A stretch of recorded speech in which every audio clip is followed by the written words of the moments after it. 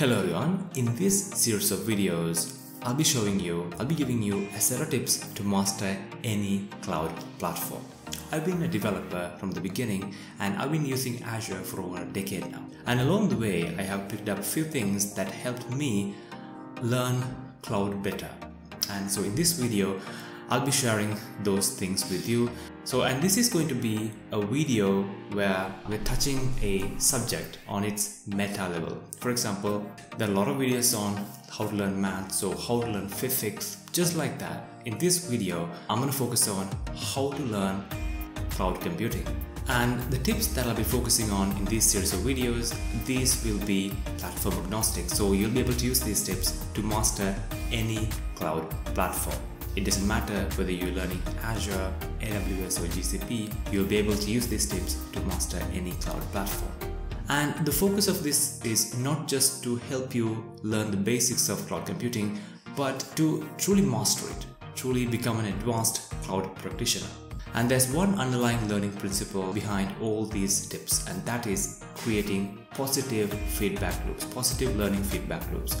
When learning new things, rewarding ourselves provides the best results, and to keep learning, we need to avoid frustrations. You'll understand what I mean when I go through the actual tips in my upcoming videos. Let's get started with the tip number one having your own account or having your own cloud subscription. When we get started as beginners, you know, we'll be watching a lot of videos and we'll be reading a lot of articles. But the first thing that you should understand is that cloud, it's a practitioner's game. So it's all about doing practicals. So after learning the, the theoretical side of the things, you read these articles and you want to do practical stuff, right? And that is where your knowledge will be solidified. The account or the subscription that you might be using you could be using your university account or a uh, company experimental account if you're working somewhere. But the problem is that these accounts, they do not allow you to fully experiment. So what happens is that you try doing something, you, you know, you try to create, for example, a virtual machine or an app service and you get this error saying that, okay,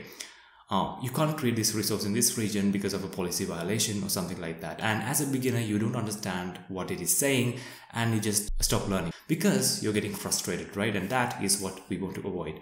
If you have your own cloud account, right, this won't happen. You want to become an expert, you want to become a master. So you should first try purchasing a pay-as-you-go account. It's it's no different than having your Netflix or Spotify account. You just you know add your credit card and you'll get the uh, the foundational knowledge on how to purchase a subscription. I know the question that you'll be having is that okay, what if I get a huge bill at the end of the month? There's a simple answer for that. The first lesson that you should have is the basics of cost management. How to look at cost dashboards and how to create alerts so if you're spending more than $2, you can create an alert. These are the things that you should master first and then purchase a cloud account and then you can experiment with this it is an investment you have to pay, but you won't get a huge bill if you're careful with the resources that you that you create. You'll, you'll be costed around like one to two dollars per month for your experiment if you delete your experiment after doing it. And the next benefit that you'll get is that from the beginning you'll have the idea that for a virtual machine I have to pay for an hourly rate. And if you create a queue, for example, that I don't have to pay if I don't use it. Now, this knowledge is important if you want to become a cloud expert. So that is the, the goal of this series of videos. And for some, this might be a bad advice, but if you want to become an expert, this is the first step that you want to take.